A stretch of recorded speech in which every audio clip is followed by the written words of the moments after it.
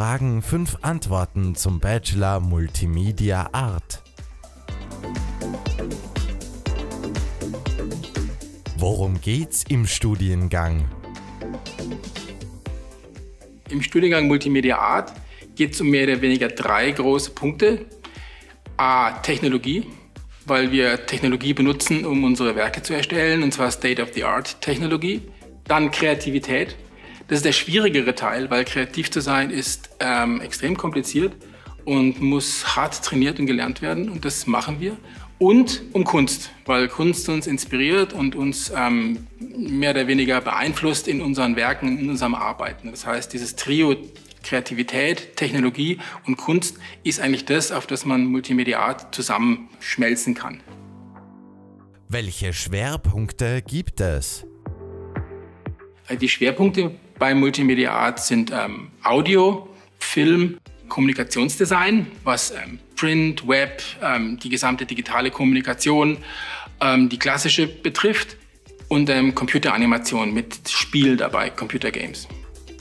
Welche Karriereaussichten oder Jobmöglichkeiten hat man? Die Karriereaussichten sind breit gefächert, siedeln sich zum Großteil in der Kreativindustrie an, in Designagenturen, in, in ähm, Werbeagenturen, bei Filmproduktionen, bei Audiostudios, aber auch in der Selbstständigkeit, wo sich Studierende in kleinen Spiele, Game-Studios selbstständig machen, auch als freie Konzeptioner und ein geringerer Teil, aber dennoch auch als freier Kunst, Künstler, Künstlerin. Wie läuft das Bewerbungsverfahren?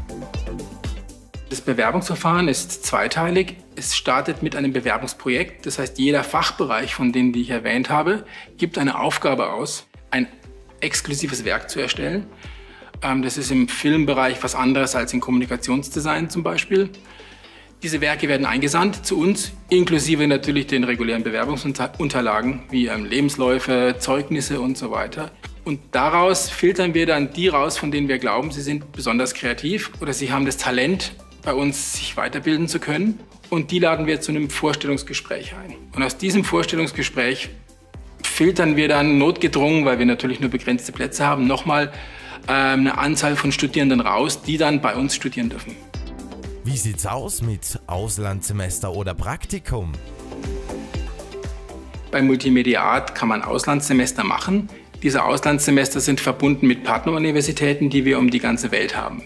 Wir haben ein Pflichtpraktikum im fünften Semester und diese Pflichtpraktikas ähm, in den vier Fachbereichen verteilen sich auch um die ganze Welt. Es geht von Österreich über England, Frankreich bis hin nach Südafrika, Südamerika, Mexiko. Wir sind wirklich bei den Praktikumsstellen auf der ganzen Welt mit Multimediat präsent.